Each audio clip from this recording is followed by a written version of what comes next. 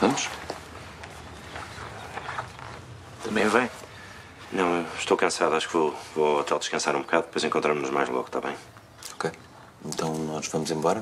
Temos muita coisa para fazer. Sim? Ficas bem? Uhum. Fico.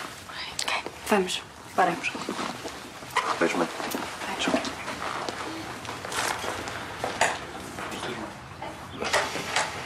Vocês desculpem, eu também estou quase a ir embora. Achei só que era boa ideia deixá-los um bocadinho sozinhos. Aproveitava que tinha ficado aqui, aproveitava para falar de um assunto consigo que está pendente em relação ao Arthur. Ainda nem sabe que vai morrer. É, acontece que isso faz dele um, um dos principais herdeiros.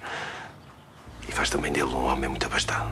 Sim, e faz recair sobre ele uma suspeita maior porque aparece precisamente no momento da distribuição dela. Sim, exatamente.